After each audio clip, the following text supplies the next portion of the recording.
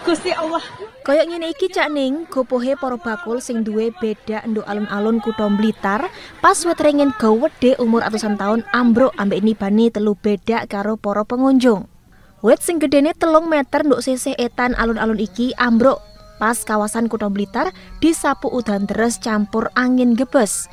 Sauntara petugas gabungan teko TNI, Polri, BPBD ambek DLH Kutha Blitar langsung evakuasi uwit sing nibani bedake para bakul gawe graji mesin. Kepala BPBD Kutha Blitar Agus Suherli ngomong akibat kedadian wit ambruk iku telu warung rusak ambek 10 uang ngalami catu. Para korban iki bakul ambek uang sing tuku nduk warung. Lah saiki kabeh korban wis digawa nang rumah sakit gawe diramut medis. Muhammad Asrofi JTV